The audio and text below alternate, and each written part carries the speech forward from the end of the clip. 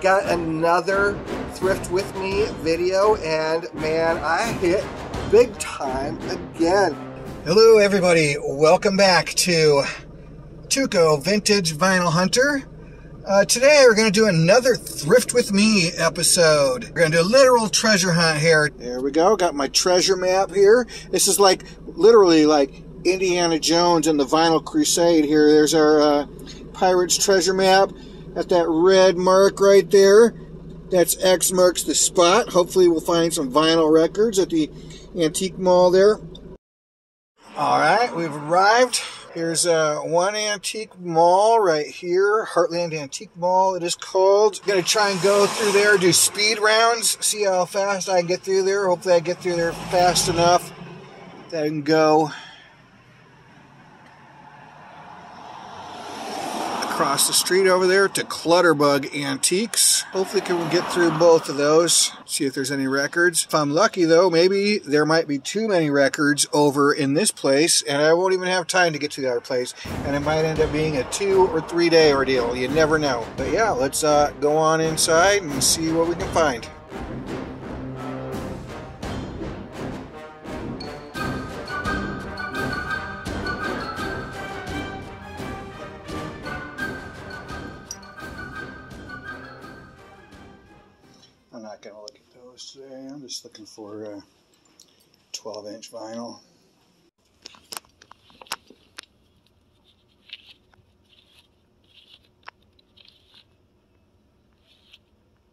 Is an antique mall, so that means there's multiple vendor booths. There'll be lots of small batches of records here and there scattered out throughout the whole antique mall.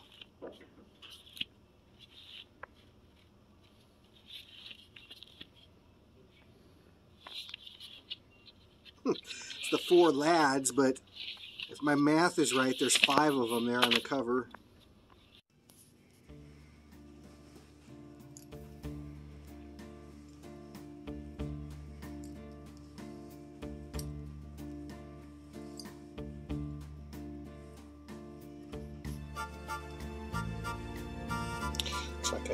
Full. Won't be going across the street today Just digging through all these. I see Montrose, April Wine.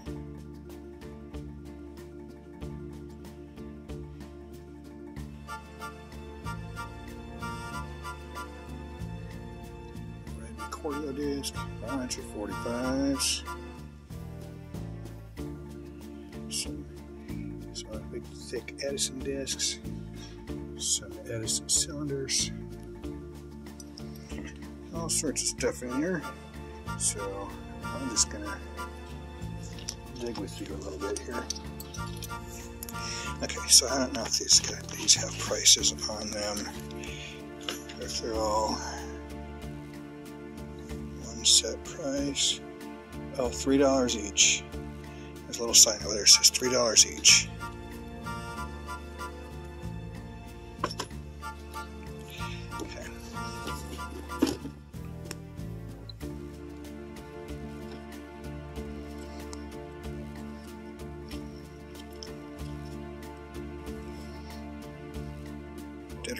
Maybe. Let's see. I don't know, about $3. Aldo Nova. Cheap Trick in Aldo Nova was my first concert.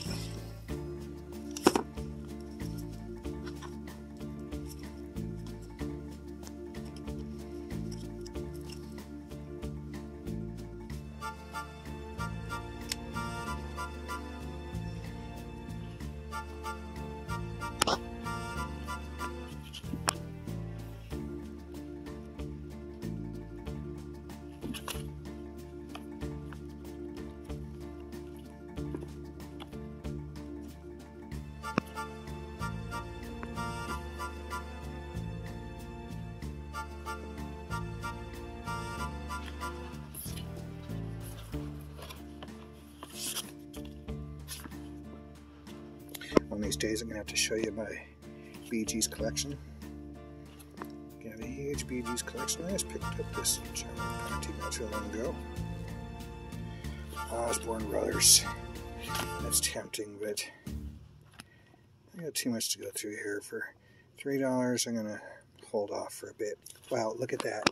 On this video I just did on my Roger Miller collection, I showed a double album, Guitars Unlimited, play the Roger Miller songbook and the Eddy Arnold songbook. And mine is missing the Eddy Arnold record in it. And look at this. Here I found this Eddy Arnold. It's not the proper one that goes to mine now. Telly Savalas. Oh, Lorne Greene, the man. I am a big Lorne Greene fan. That one will be going home with me.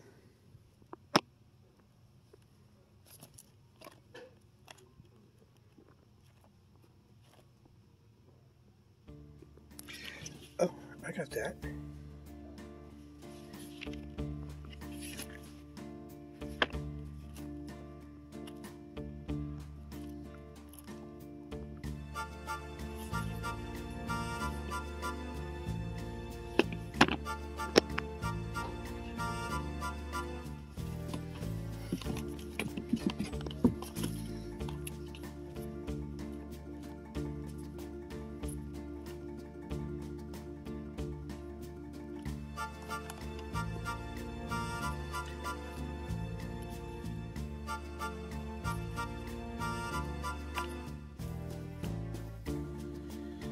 Wakeman.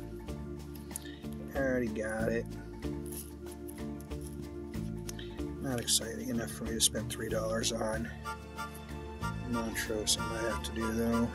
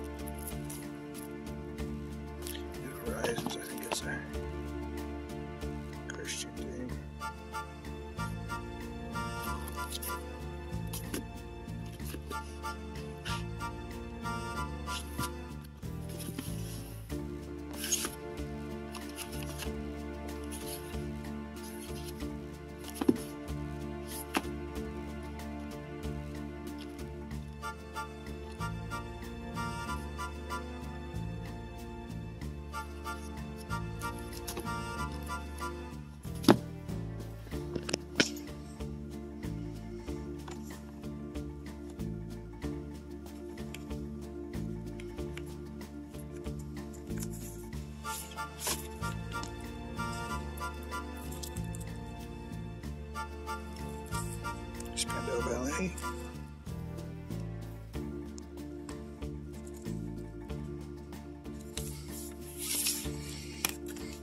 doubt these are Screaming Jay Hawkins, but we will look.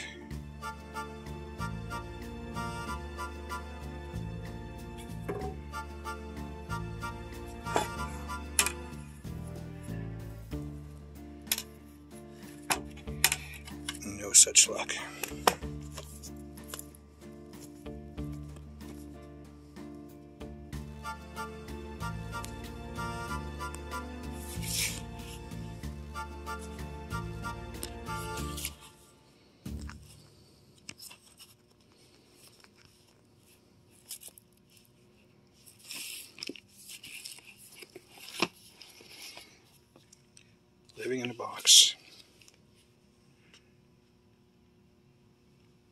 Not familiar with this. Genesis Abacab. Fixx. Reach the beach. It's got writing all over it.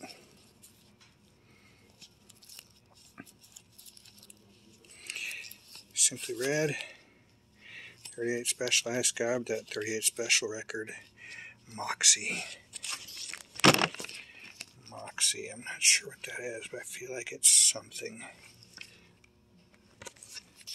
Pull that out.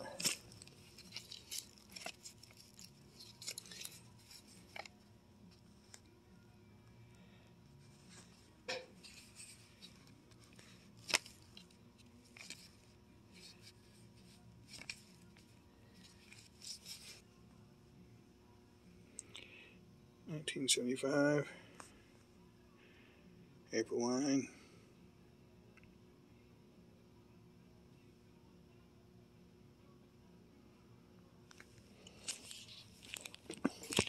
Maybe. There's the firm.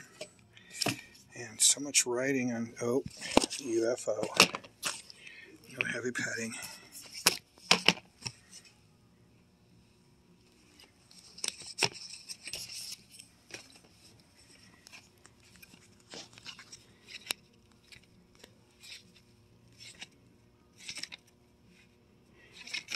We're staying the time.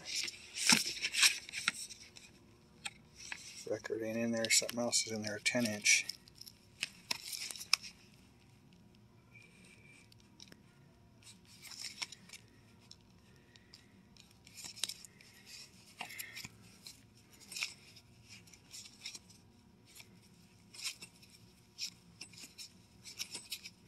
Alright. It's too hard to do with this phone in my hand filming this. So I'm going to let you guys go for a bit. I'm going to dig. If I find anything, I'll let you know what's up. Totally on my want list. An Uli Jon Roth era Scorpions record that I don't have yet. This has Sails of Charon on it. Steam Rock Fever will burn the sky, all sorts of stuff. Really want one, the version of that with the um, with the um, really wanting the version of that with the cemetery cover on it. What is that?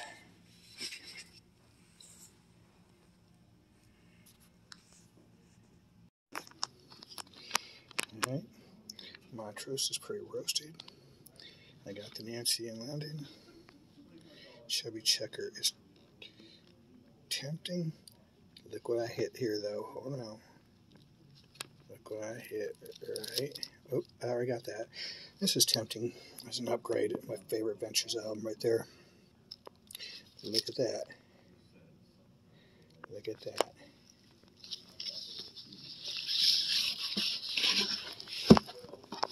Alright. Boy. That's tempting too. I got so much Ventures though.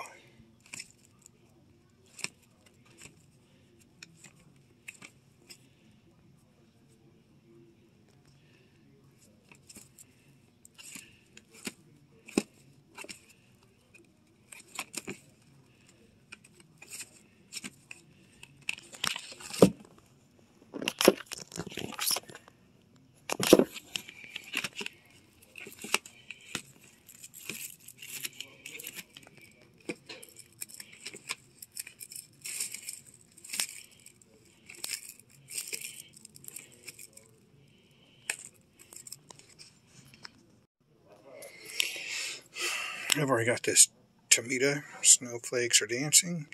But this is a quadraphonic. So I'll definitely be snatching that up. This uh, Crosby Nash is in pretty bad condition. So I'll leave in that. Foghat. Alright, I made it through made it through the 12 inch vinyl. Give you a quick look at what I pulled out.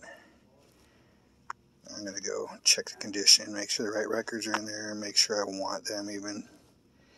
Maybe thin some of it out.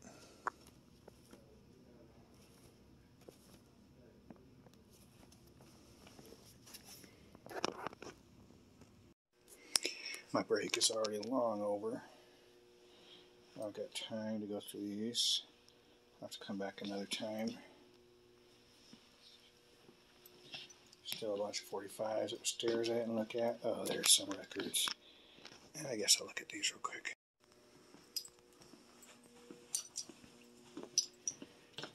A bunch more records back here.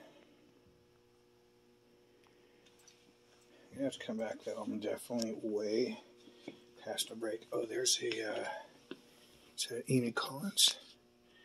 Enid Collins. $52, so they know what they got.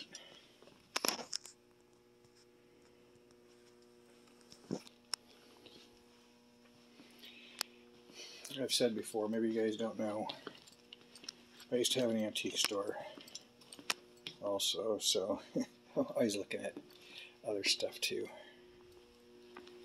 Not just records. All right, let's take a close look at all this cool stuff that I found. ABBA the singles. I've said it before on this channel. No shame in my game. I absolutely love ABBA. The singles, the first 10 years. This is double album set, gatefold. Just all sorts of killer stuff on here. Fernando, SOS. Those are my jams. Take a chance on me. Another one of my jams. A bunch of other great stuff too on here though. Uh, Mamma Mia, Dancing Queen, Gimme Gimme Gimme killer. Love me some ABBA. The Cult. Resurrection Joe, UK 12 inch single from 1984, and this is the textured cover version. Very cool. I'm a big Lorne Greene fan. Uh, I'm surprised I didn't have this already. I don't know, man. I think Discogs is kind of goofing up on me. It's telling me I don't have things, and I'm pretty sure I have some of this stuff. I thought I might have had this. It's saying I've got like one Lorne Greene album. I'm pretty sure I got probably three Lorne Greene albums, but who knows? We'll see. Uh, this is Lorne Greene, The Man, 1965.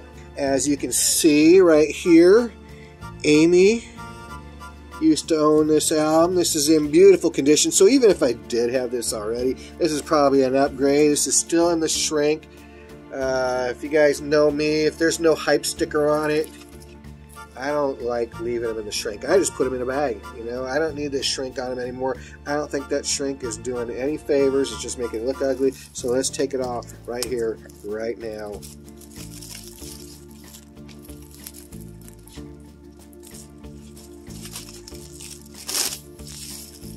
Huh? Huh? Did that feel good? It did, didn't it? Lorne Greene, the man. Found some UFO at that antique mall. By the way, these records were all priced at $3 each. But then I found out when I was ringing up that booth was having a sale. Uh, they ended up being 240 each. So uh, I don't know, what is that, 20% off or something like that? Yeah, found UFO Force It 1975. Very cool. Able to fill some holes in my UFO collection. Of course, this is Michael Schenker era. Another UFO. No Heavy Petting. Also Michael Schenker. 1976. Killer stuff. If you guys don't know UFO, man, killer hard rock and stuff. You know, Michael Schenker uh, he was uh, he used to be in the Scorpions. His brother Rudolf Schenker is you know the the founding member of the Scorpions, and uh, uh, Michael Schenker is just a guitar god. You know, Lights Out UFO 1977, another Michael Schenker era. Killer stuff. Of course, Pete Way on bass, Phil Mogg, Andy Parker on drums, and Paul Raymond. You know the the classic lineup, killer stuff. All right, these next ones are total blind buys. Don't know anything about them. I just figured uh, I'm going to pick them up, check them out, see if it's cool or not. Moxy 2, 1976, Canadian hard rock. This is their second album, obviously. Their first album actually had Tommy Bolin on guitar. Of course, he went on to play with uh, Deep Purple. And they had another album, Thinking About You, which had Mike Reno, who went on to Loverboy. Crazy. Another Moxy album, Riding High, 1977. This is their third album and their final album with their lead singer, Buzz Shearman. Now, like I said, I haven't listened to them yet. Hopefully it turns out to be pretty cool. Who knows? Sometimes you just got to buy it and take a chance. Another Moxy, Under the Lights, from 1978. April Wine, Stand Back, 1975. This copy is actually a um, 1981 reissue. Al Green, love some Al Green, man. He's probably my favorite soul singer. I'm Still in Love with You from 1972. You know, when we did uh, when we did the Thor tour, we went and played Memphis. And, you know, that's Al Green's turf. He's got a church there. Uh, we went and drove by his church, saw that. That was pretty cool. Another blind buy, Baby, 1974. Hard Rock, This is uh, li the limited numbered version. You see on the back here, there's the numbered version. Uh, 3602 out of um, out of 5,000 copies. You saw, you were there. You saw when I found this. How crazy is this? That's still a thing, right? Bobbie Gentry, the Delta Sweete. Um, yeah, like uh, this thing goes for crazy money now. I think people are picking it up. Uh, by the way, uh, Bobbie Gentry, uh, she's most known for her song uh, "Ode to Billie Joe." Uh, Billie Joe McAllister jumped off the Tallahatchie Bridge or whatever it is. But uh, this is uh, 1968's The Delta Sweete. But I think the reason that this record sells for a whole bunch of money now is because in 2019, Mercury Rev released Bobbie Gentry's The Delta Sweete Revisited, featuring uh, Norah Jones was on it, Lucinda Williams, Hope Sandoval from Mazzy Star, and a bunch of other stuff. I I don't know if you know or not, I'm a big Philadelphia Eagles fan. Uh, boy, we went to Philadelphia, saw a game at the Linc even there. While in Philadelphia, we went and looked at a whole bunch of record stores, about a whole bunch of stuff. We went to um, a Philly restaurant, you know, Philadelphia cheesesteak sandwiches at Philadelphia, of course, the home of the Philadelphia sandwich where it was invented. Uh, we went to this place and had, maybe it was Jim's, I can't remember.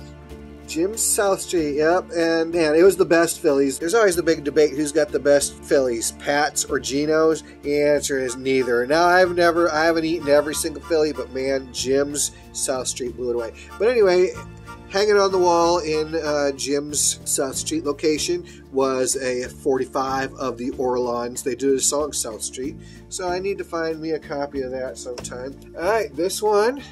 I already have this album, Tomita Snowflakes Are Dancing. He is a um, he's a pioneer of like early electronic music. Does a lot of stuff with the Moog synthesizer.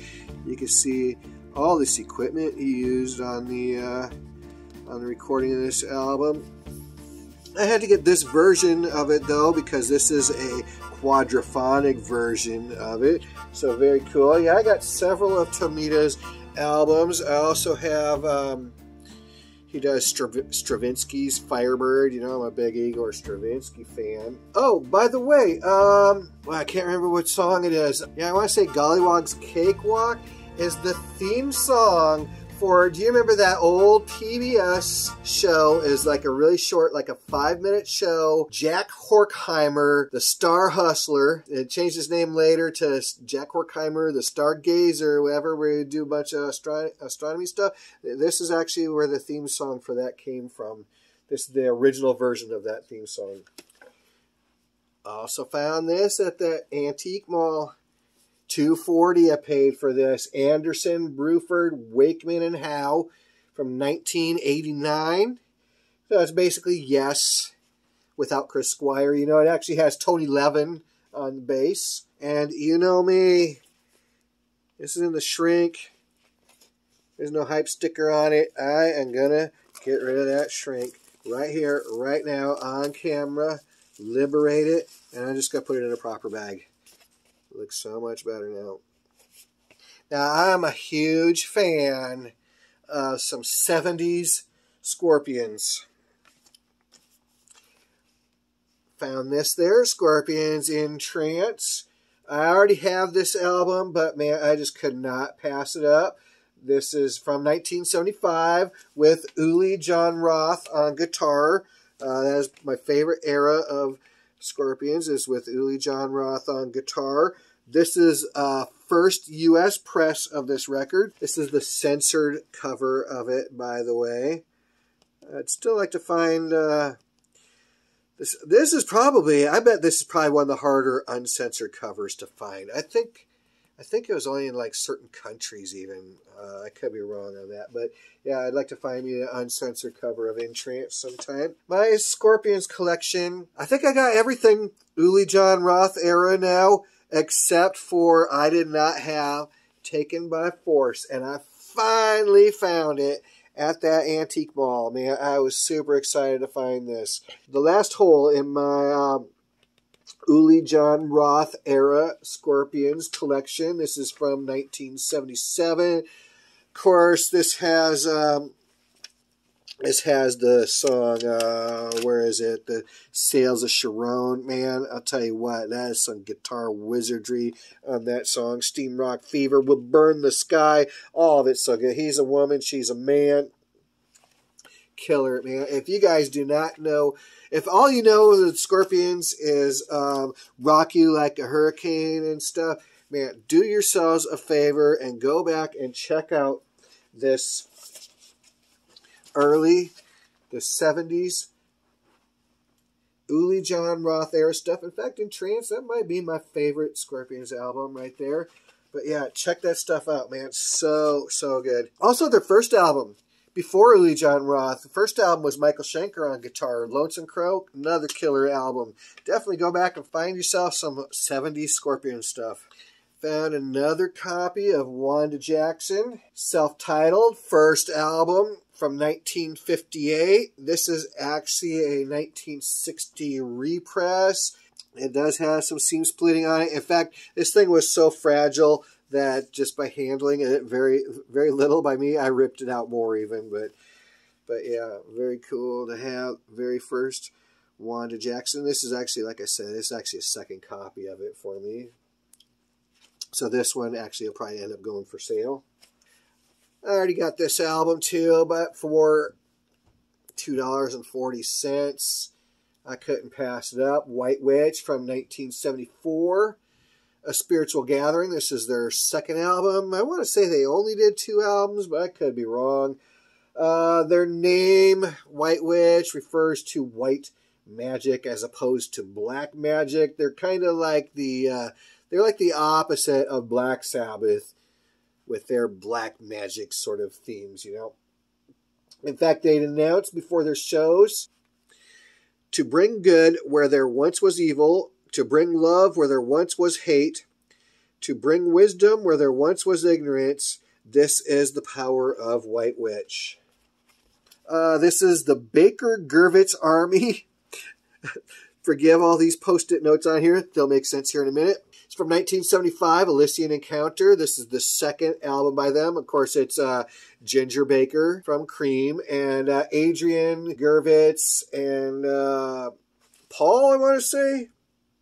Yeah, Paul Gurvitz, brothers, I'm guessing. Uh, Adrian Gurvitz, by the way, is from Gun, you know, the band that did the song Race with the Devil. This is prog, kind of psych, hard rock stuff. There's Gatefold. But anyway, yeah, I spent way too much time I spent way too much time on this the other day trying to figure out. i I noticed that these pictures were probably them. I noticed that this guy right here looked like Ginger Baker. So I went and tried to figure out who all the people were. I'm going to say that's what Ginger Baker right down there. Paul Gurvitz, Adrian Gurvitz, Mr. Snips, uh, vocals, aka Stephen Parsons, and Peter Lemer. I believe it is, on keys. Baker Gurvitz Army. Alright, in my next video, we are going to return to the Heartland Antique Mall where I found all that stuff and uh, we're going to dig through uh, those other records that I showed you. There was a booth there with a whole bunch of records that I didn't have time to uh, dig through at that time. So I come back the next day, I believe, and take you with me. We go dig and see if we can find anything there.